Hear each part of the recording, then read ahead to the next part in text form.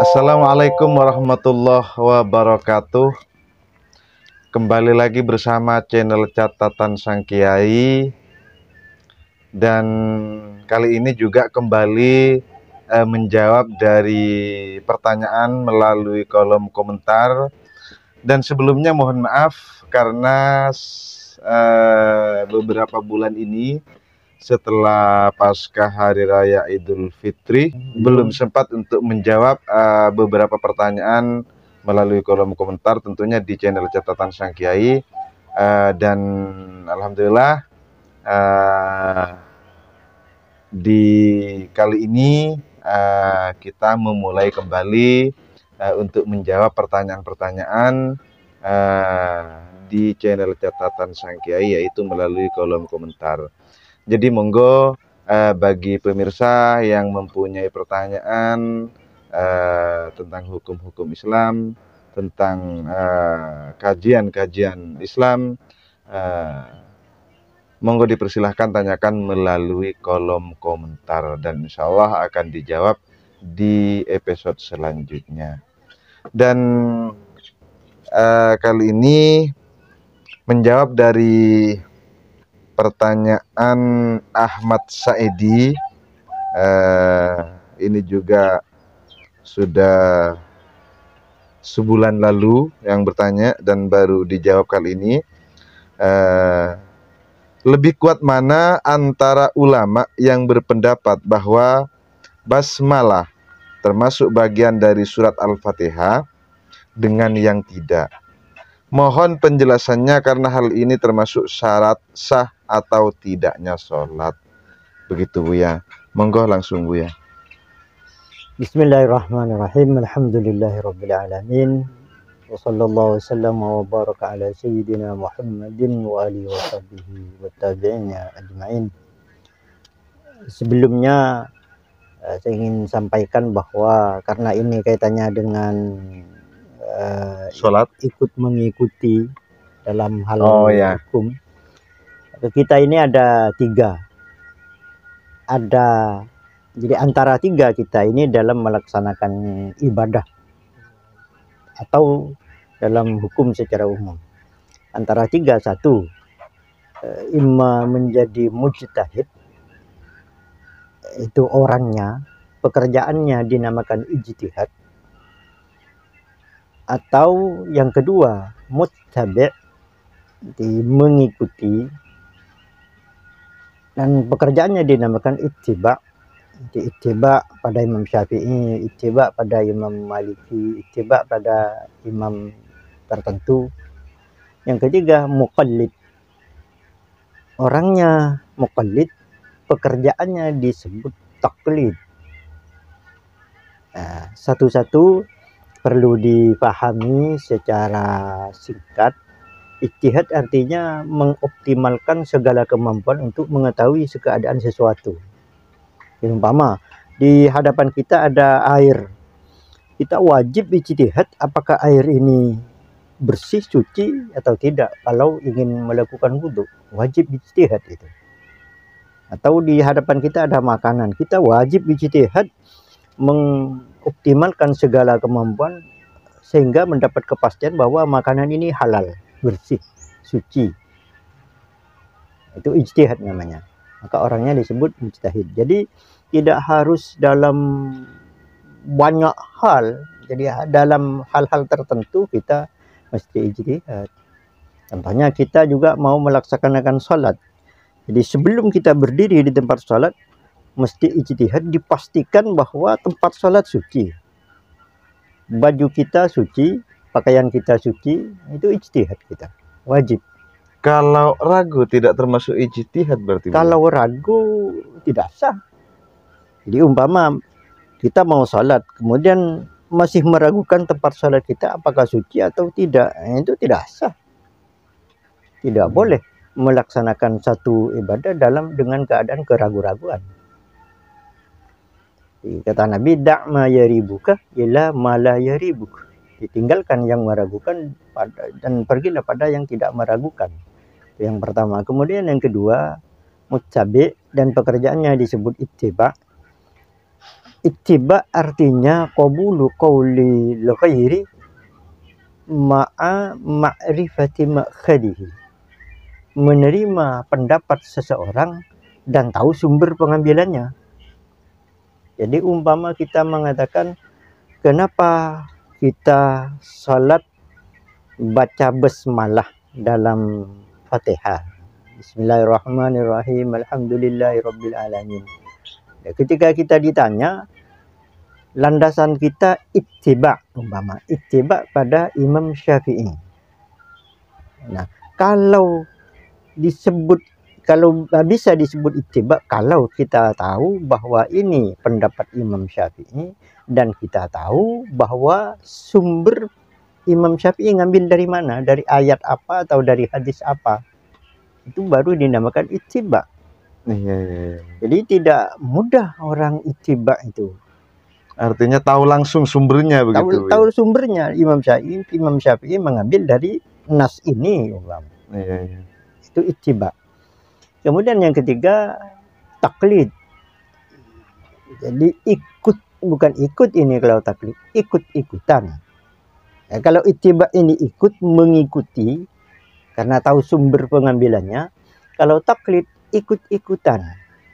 Jadi ada orang menghadap ke barat ya ke barat, ada orang begini ya begini, itu taklid namanya. Dengan tanpa mengetahui sumber begitu. Tanpa jadi qabulu qaulil ghairi ma'adami ma'rifati ma'khadihi. Menerima perkataan orang lain tanpa mengetahui sumber pengambilannya.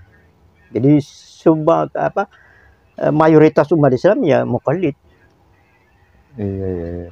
taklid.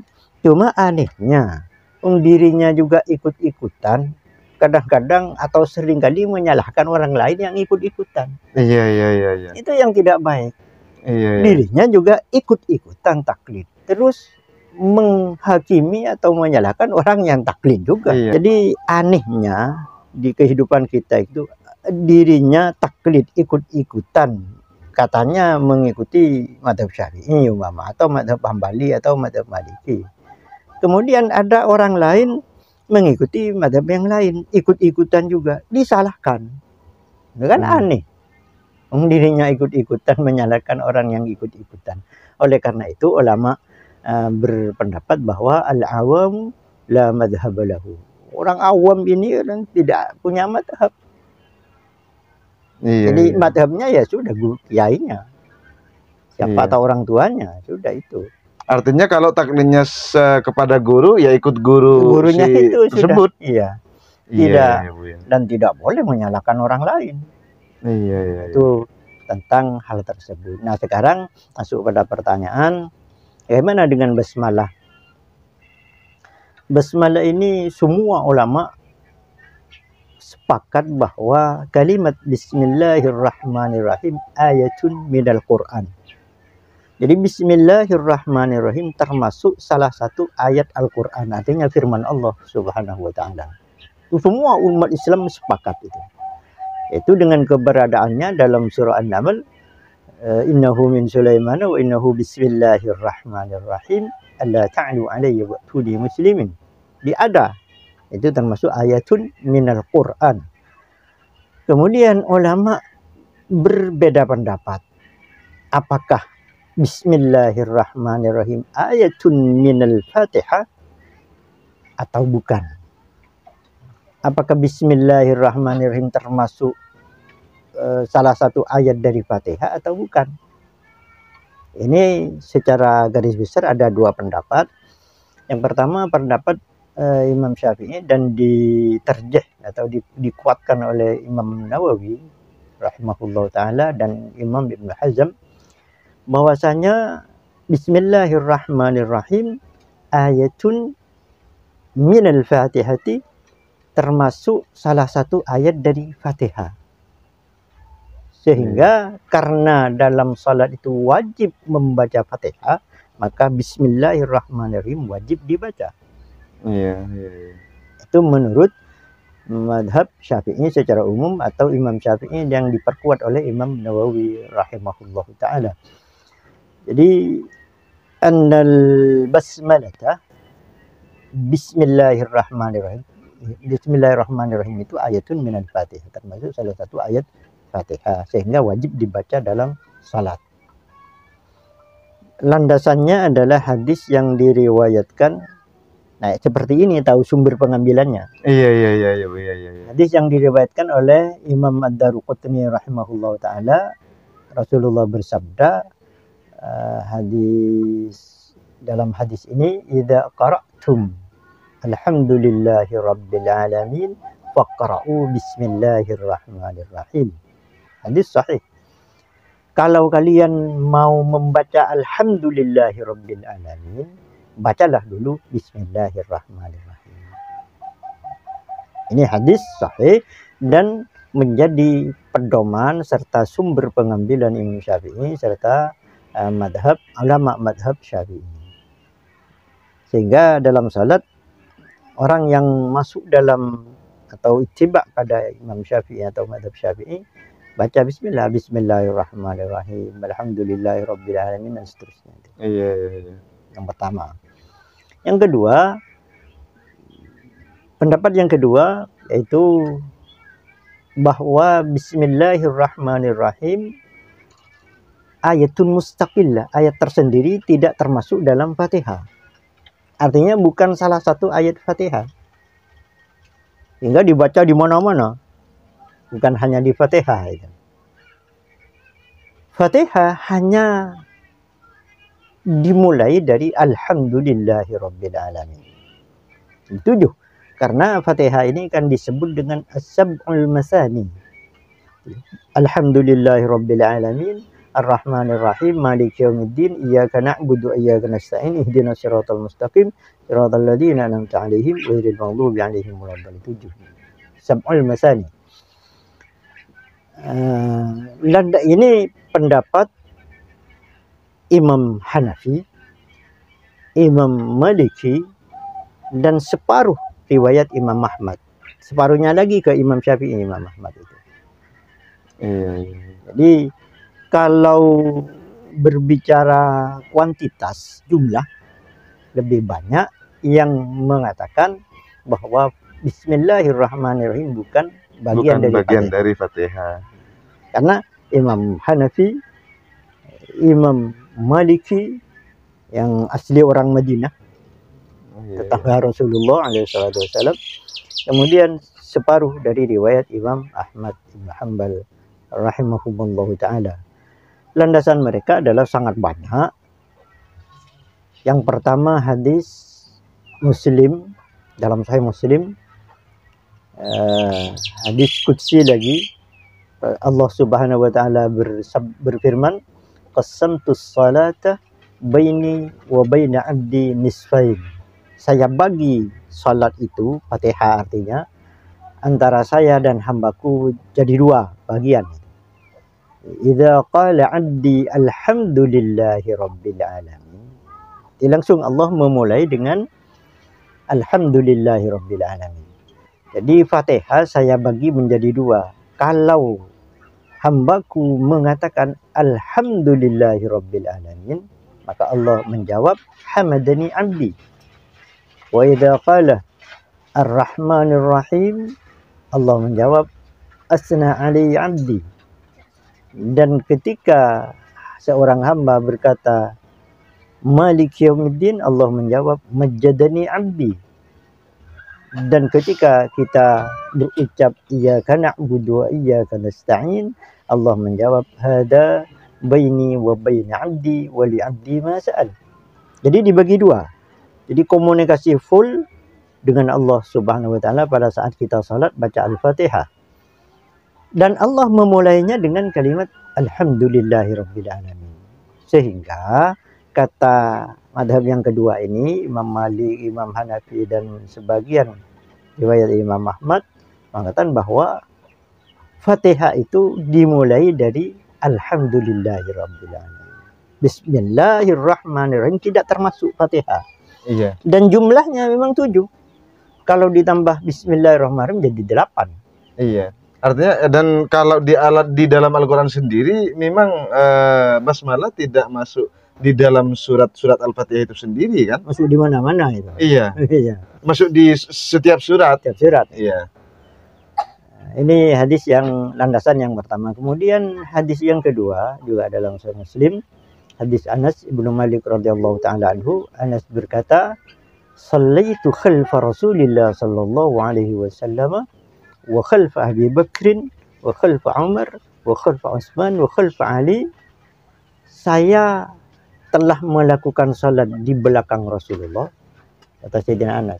Di belakang Abu Bakar, di belakang Umar, di belakang Utsman, di belakang Ali, saya tidak pernah mereka me- menyaringkan atau mengucapkan Bismillahirrahmanirrahim.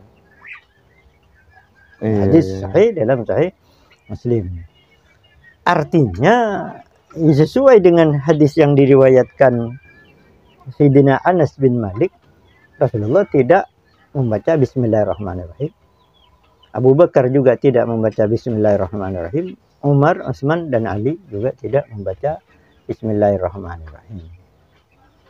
Dan pertanyaannya di sini Buya eh, lebih kuat mana dari dua pendapat tersebut Buya? Eh, belum ini. Iya. Jadi sudah eh, kita tahu pendapat pe- perbedaan pendapatnya yaitu yang pertama Imam Syafi'i, kemudian yang kedua eh, Imam Hanafi, Maliki dan sebagian Imam Ahmad. Eh, sekarang eh, dikomparasikan umpama Iya. perbedaan dan persamaannya itu di mana gitu. itu kan kita akan sering kali ada sering melakukan studi komparatif kan Iya, iya, iya. jadi kalau dikomparasikan sabda Nabi Alaihissalam yang tadi yang hadis kutsi bahwa Fatihah itu dimulai dari Alhamdulillahirabbil alamin. Dikembalikan pada landasan Imam Syafi'i. Hadis Nabi, "Idza qara'tum alhamdulillahirabbil alamin faqra'u bismillahirrahmanirrahim." Kalau Iya. kalian mau baca alhamdulillah, baca dulu bismillahirrahmanirrahim. Iya. Artinya kalau bicara kuat tidak kuatnya sama-sama kuat. Iya. Hanya perbedaannya yang satu, yang madhab yang kedua ini berada pada nas tidak di, ditafsiri lagi.